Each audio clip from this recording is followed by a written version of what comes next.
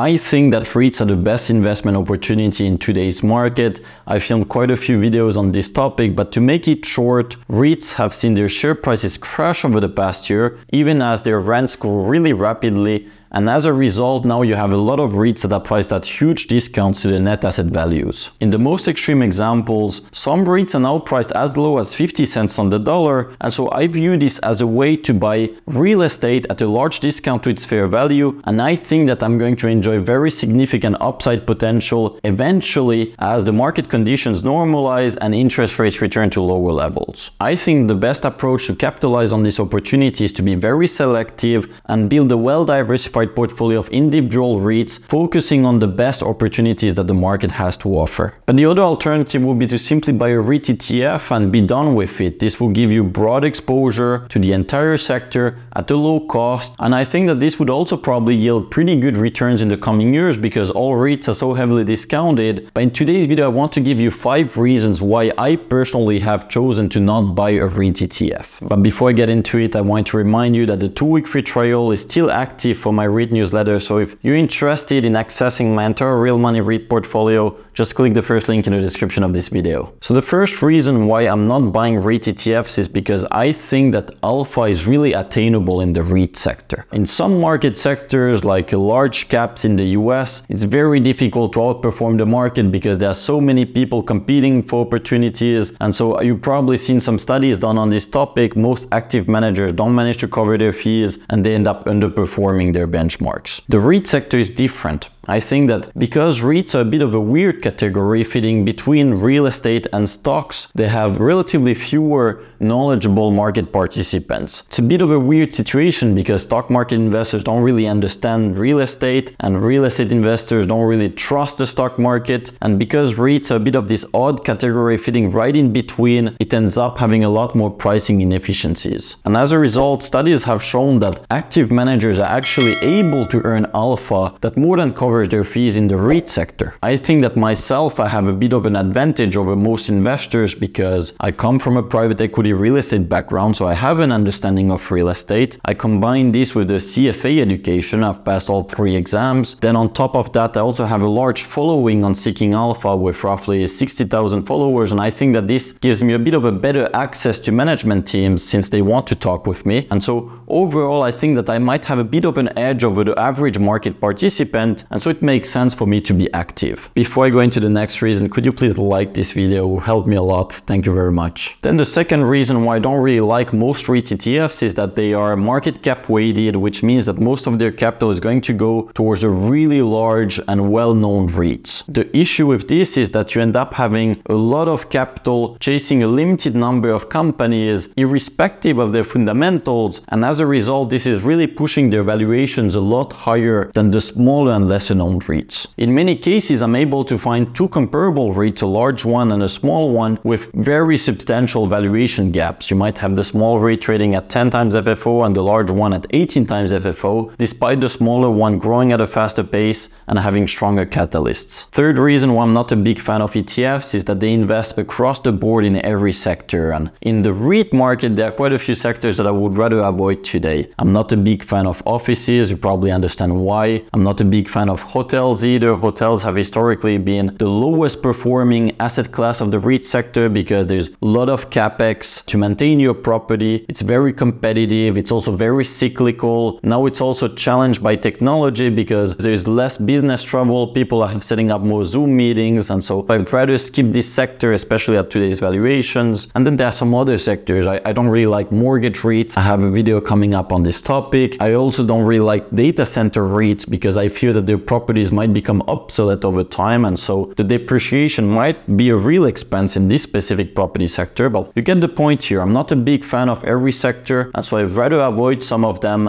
by building my own portfolio. Fourth reason, REIT ETFs are going to invest in all sorts of REITs irrespective of their management and I think that the management is the number one driving reason behind outperformance and you can quite easily identify REITs that are poorly managed that suffer significant conflicts of interest. To give you you an example, you could simply skip all the externally managed REITs and that would already boost your average performance because historically externally managed REITs have done a lot worse than eh, internally managed REITs because of all the conflicts of interest that they suffer. But ETFs are not in the business of picking and choosing and so they invest across the board whether it makes sense or not. Then the fifth and final reason I find that the low cost ETFs that are available in today's market offer very low dividend yields of around 3 to 4%. I think that real estate should be an income driven investment for and foremost and so this yield isn't really enough to satisfy me. I'm trying to get closer to the double of that, uh, 6 to 8% because I like to get paid while I wait for my long-term thesis to play out. The market can be very unpredictable in the short run, causing REITs at sometimes to drop in value even as they grow their cash flow and so I really like to get paid while I wait. It helps me to remain patient. There are of course a few ETFs that offer much higher yields than this, but then the problem with them is that typically they will have much higher fees and or they will heavily invest in offices, mortgages and other riskier sectors that I prefer to avoid. And so for these reasons, I think that I can do better on my own by being very selective and building my own active REIT portfolio. I will film a video on my entire selection process someday, but to give you a few factors to consider here is I avoid all externally managed REITs. I avoid also other REITs that suffer conflicts of interest. I pay a lot of attention to net asset values to make sure I get to buy real estate at a nice discount. I try to get a higher yield to get paid while I wait. I avoid property sectors that I think are going to suffer in the long run and remain value traps. I also invest quite a bit abroad. In many cases, I'm able to find similar REITs in foreign markets that have much better prospects than their peers in the US. And so by following such simple principles, I've historically been able to